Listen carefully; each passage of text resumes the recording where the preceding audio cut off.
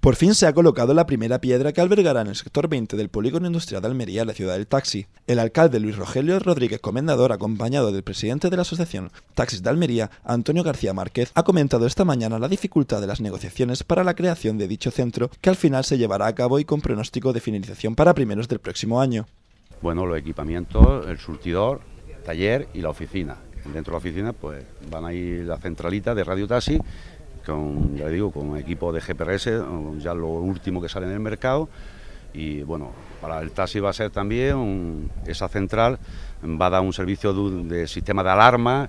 Y la verdad es que muy satisfecho en cuanto a que ha sido una negociación complicada, ha tardado, ha sido lenta, pero que al final ha dado resultado, que lo importante es al final pues lo que se, que se produzca la construcción de la ciudad, del taxi, que es un servicio magnífico el complejo consta de un taller local de abastecimiento que ahorrará el consumo de gasolina a los taxistas y las oficinas donde se operará directamente y se desarrollan las funciones de radiotaxi. La localización conjunta de dichos lugares facilitará el tránsito y el trabajo para los taxistas de la ciudad.